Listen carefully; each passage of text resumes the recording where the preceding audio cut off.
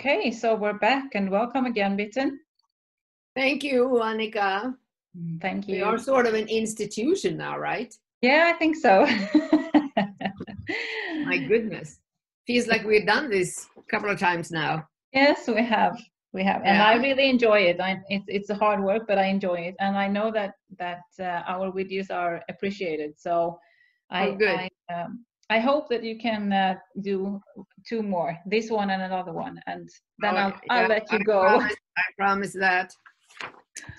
We're rolling. Yeah. So today we're up for biochemical repair. I think it's um, a thing that you created, kind of. can we? Can you tell us about it? What is it? What does it? How do well, I? Well, you know, yeah, because um, many years ago, I don't remember exactly. Well, beginning of '90s, maybe. I read a book by Joan Mathews Larson. She was a nutritionist in Minnesota.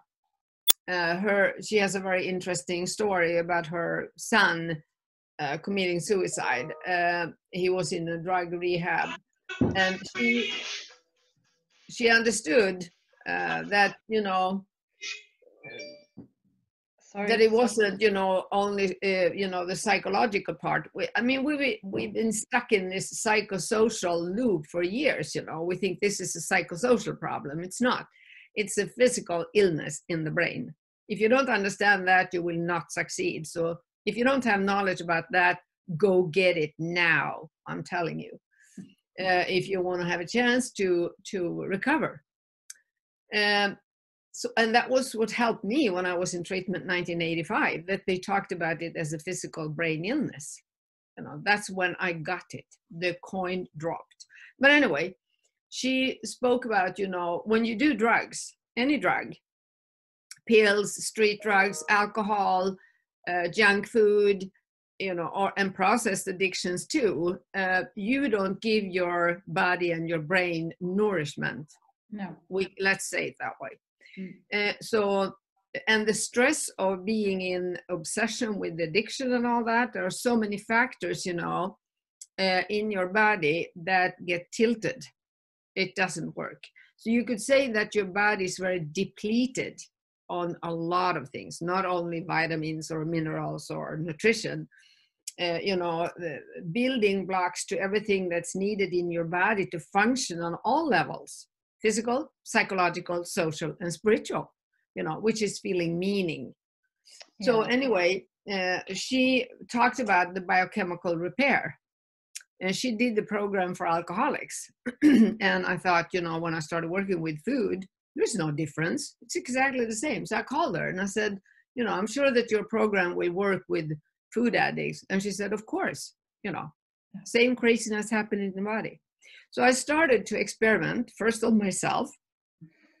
And funny enough, I ended up in the emergency room because, you know, I didn't read the, the, the fine on the on the instructions how to do it. So I took a high dose of B3 niacin at that time, uh, not knowing that I should take 100 milligrams, and I took 500 in the evening before oh. dinner.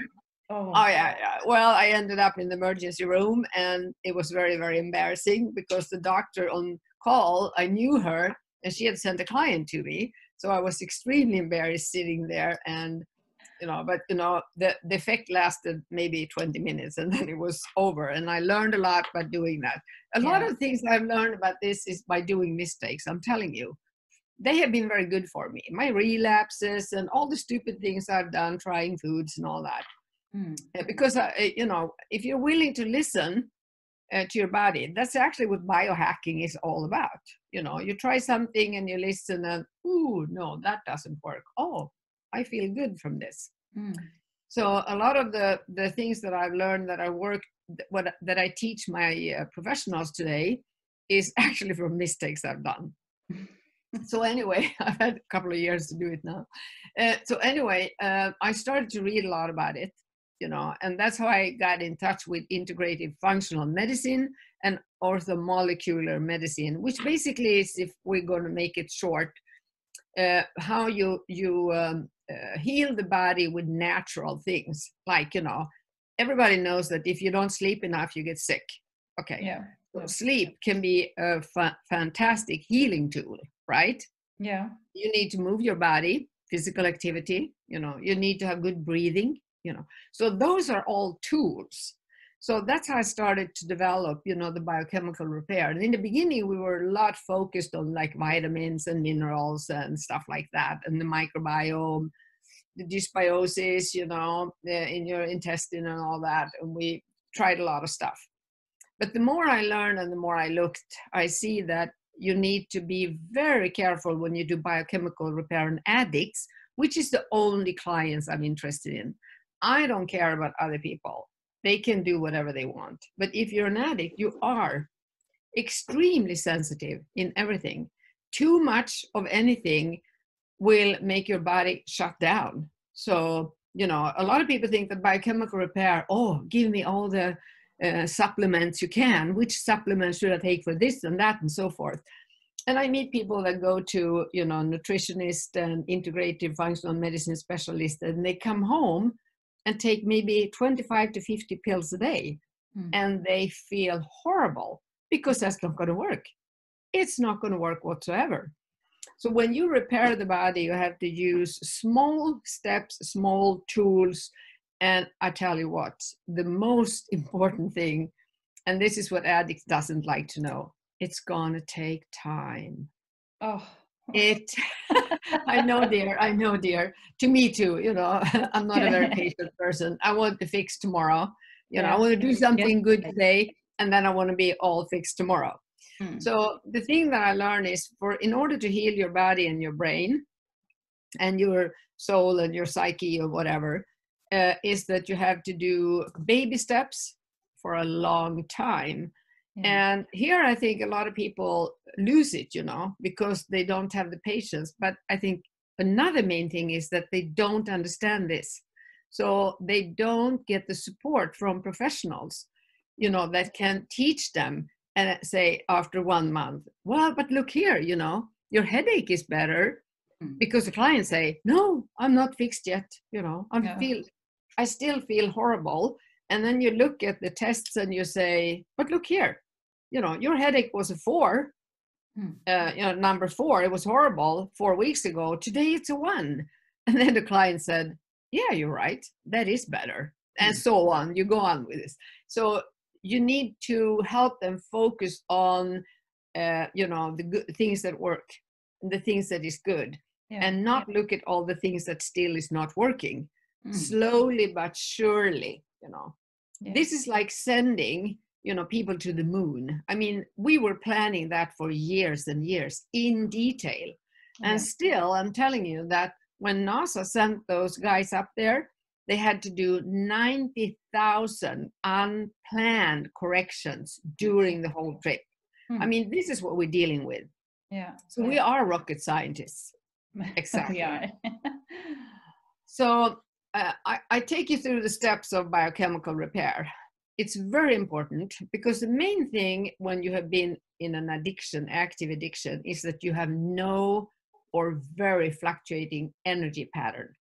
yeah. You're drained of energy, and I'm talking energy on a cellular level. I mean, Yeah. some days you lose it all, your brain is not working, your body doesn't want to be with you, you're exhausted, be- beyond exhausted. And to tell somebody then, well, you know, it's just to start doing this and that, and, and then you're going to this and this and this. So I used to say it's the start that stops us, you know Yeah. it feels overwhelming. So, as a counselor or a coach, you have to understand that it is baby steps. Mm. And you are not motivated to do this unless you understand the brain illness of addiction. So, that's step one.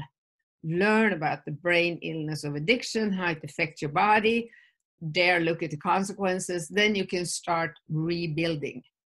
So, of course, number one, take away the drug you know, sugar, flour, processed foods, sweeteners, trigger foods. Uh, people have different trigger foods. One of the most common trigger foods for addicts is milk products, dairy, without butter and ghee is usually okay.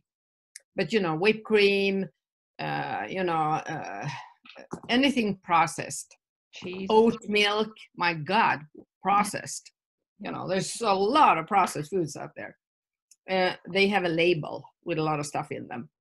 Uh, so plain food from plain ingredients. That's what you need. If you don't understand how to do that, uh, take a class, learn from somebody, and start cooking your own food and eat clean food. Number one. Yeah. Okay. The next step is breathing. Uh, I have talked about this before that uh, sugar addicts, food addicts, are very high strung, stressed people, very high stress level. So we overbreathe, we overeat, undereat, overexercise, underexercise. I mean, there is no um, calm pattern in us. You know, it's either on or off. Black or white. Uh, pardon me? Black or white, on and off. Yeah, yeah, yeah, yeah, yeah, yeah. Uh, that's very typical. So here, one of the most important thing is to actually read the book Conscious Breathing by Anders Olsson. Uh, it has fantastic research which explains why it is so important to start nose breathing. Tape your mouth at night. Don't stress breathe anymore. Quit that.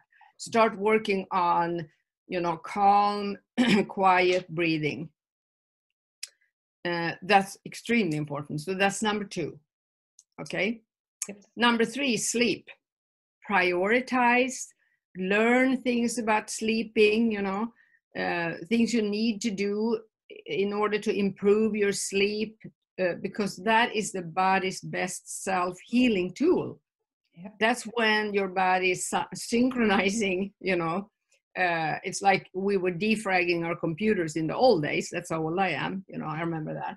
Uh, so sleeping is defragging your body but your body needs sleep. It's very very important to go to bed early and there are lots of little tools you can use how to learn how to get a better sleep uh, or talk to somebody that's good at that yeah. so that's the next thing. One of the absolutely best detoxes number two actually from you know uh, breathing. Breathing is incredible. That's your body's natural way of detoxing proper breathing. Yeah. you know that's 60% of your whole detoxing during a day whereas sweating is only 30 going to the bathroom number two is only 10% and people pay much more attention about going to the bathroom than how they breathe. So Yeah. switch that. So then uh, we have sleeping uh, give the body rest and then we have physical activity. And then of course you know being addicts they think oh i have to go to the gym and spend five hours every day in the gym or i have to jog for miles or blah blah blah. No you should not do that. That's dangerous. Don't start there. We're talking nature walks because if you go out in nature nature has you know um, there's so many studies showing that when you're out in nature you see trees you see uh, grass you see all that even snow in the winter it has a very healing effect on your body. We're made that way. So you Hmm. can read a lot about that on the studies done like that. But it's also increasing oxytocin which is extremely important for satiety and for feeling relaxed oxytocin is the biggest relaxation uh, system in our body. So a lot of people think, oh, I'm so stressed, I need to do yoga. Oh, I'm so stressed, I need to go to this class and learn about this. I need to fight my stress. Uh uh Quit fighting. That's the problem. Don't fight. Instead, learn tools how to let your natural oxytocin relaxation system work in your body. That's much better, smarter, you know uh, save the energy you have. So those are the things. Then you know uh, the next step can be you know to replenish some of the things that you lost. Uh, it uh, could be very good to um, you know take some supplements like electrolytes you know magnesium at night uh, the best thing if you contact somebody that's good at working with biochemical repair they can help test you and help you look at what specifics do I uh, need at this point? But if somebody uh, tells you to buy 10 packages of, of different types, you know, they don't know what they're doing. So when you start replenishing some of the uh, supplements, you know, maybe three or four at a time. Do that for six weeks and then switch. So the more you pump in, uh, the more it's going to clash in your body. Your body cannot deal with it, even if it's good things, you know. Uh, it needs to take care of everything you put in there. So a few of those supplements, like maybe fish oil, could be good. D vitamin in the winter. There are a few things you know we could do yeah. to improve nourishing our bodies. Uh, so uh, that's basically what biochemical repair is all about. Do you have any questions? no, no, not one single. No, it's simple, simple, right? It, it is simple, but I think it's. Yeah. Uh, I mean that when we talk about the biochemical repair, a lot of people think it's very advanced, and that's that's oh, yeah. one of the reasons why I wanted to do this with you because uh, I think the the like you said, number one and the most important is to take away the the the drug and to see the improvement in all areas you can get from eating uh, proper food, well, nourishing yeah. food. Yeah. yeah. yeah so uh, and then the breathing and everything and of course like you said supplements if you need it but uh, i find that if if i only do the you know take away the drug learn about breathing and relaxing sleeping you know this stuff the improvement is um, huge you know there are so many yeah. things good yeah. things happening in in only yeah. doing these small things and baby steps like you say yeah you know, I have this uh, test um, that people um, that I let people do. It's called the biomarker. You know, the, you look at uh, all the areas like your ears, your eyes, your stomach, your feelings, you know, your head, blah blah blah. Yeah. Um, uh, where you can pick a number, you know, like four, that's severe problems every day, and one is severe problems very seldom, and so forth, you know. Mm-hmm. Uh, and you know, it's interesting to see. Uh, I uh, when I worked with clients before, people fill that in when before they started the detox, and they saw you know add up all the first all the areas and then all the number and see a number. Yeah. And usually it was like you know 180 or something at that point. It was really bad. Mm-hmm. And then only three weeks of taking away the drug and starting to sleep better and do some of the simple things, you know, you can see the numbers going lower. And yeah. then, you know, you can check six weeks and you know you can sort of check that on yourself it's a very good way to see that wow i'm improving you know yes yes uh, but of course you know nobody can lose um, 100 pounds in three days although some people want to do that you know we're very impatient people. And i think that's why what what a support group actually should do is you know support in sticking to it. Yeah. you know the plan when you feel oh i've been on this for four weeks nothing happened i still feel miserable. Well you know do it just for today mm. that's what support groups should do mm. keep it keep each other on the track yeah that's a good support group you know yeah. because not everybody is drained of energy in the same moment so somebody's always saying well you know there's a lot of gain to do this so just do it one more day 24 yeah. hours mm. because the next day you might feel so much better so yeah and then up. it's the other yeah. way around then you support the other one so it's exactly exactly perfect yeah stick to the routine. Yeah yeah. Or stay on the bus the scenery will change is another saying we have. Yeah that one's good also. Yeah. well thank you so much Bitten, for taking me okay. through steps with biochemical repair. Okay thank and, you. and uh, we'll meet again. Yeah we will. Okay. Thank you. Bye. Bye bye.